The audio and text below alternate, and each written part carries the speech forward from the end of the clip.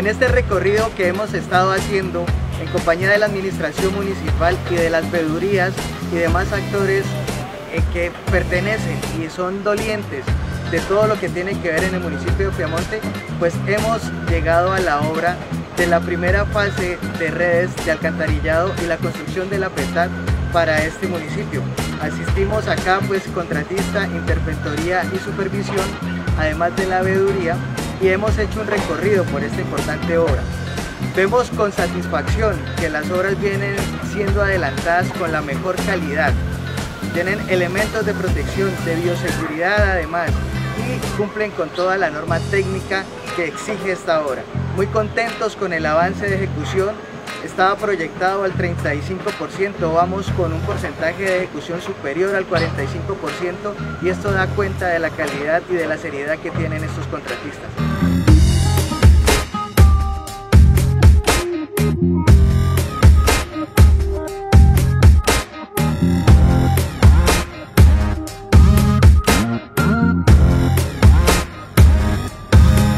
He sido designado por la comunidad para estar en la parte de Veeduría Ciudadana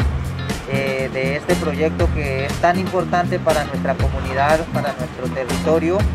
y con una gran satisfacción por la visita de todo el equipo técnico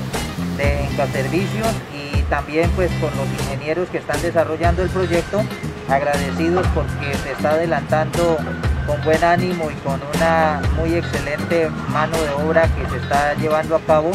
entonces eso nos da una muy buena satisfacción a la comunidad en el trabajo que se está adelantando, en buen tiempo se está desarrollando y esperamos pues, que quede con una buena prestación